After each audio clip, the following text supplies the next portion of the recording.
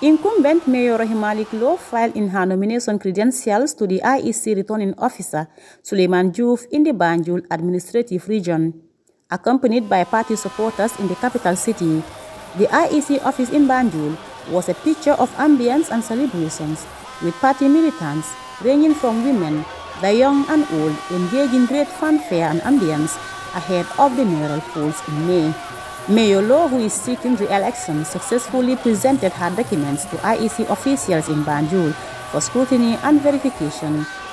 Speaking to waiting journalists after the acceptance of her nomination bid, the incumbent, who is standing against a ruling party aspirant, expressed confidence in maintaining her seat, citing her success stories during the past years. When I took office in 2018, I promised to restructure council.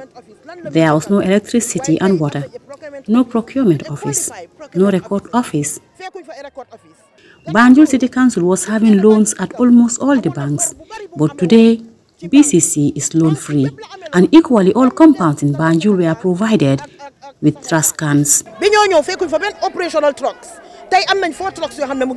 Highlighting her priority areas of development, Neolo said she will focus on women's empowerment, girls' education, youth unemployment and infrastructural advances in the capital if she is re-elected.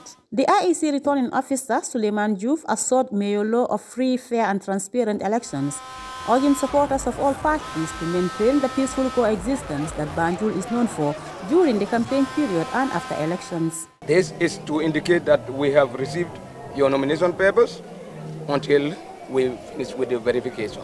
We will always communicate with you. But I want to take this opportunity to talk to you so that you pass this message to people that are going to be around you while you embark on your campaign trail, uh, whilst you prepare yourself for um, and, uh, the contest, that they should not in the least way depart from law. But at the end of the day, I want you also to remind them that Banjul, and I am going to really emphasize this. Banjul is just one family. I know Banjul very well.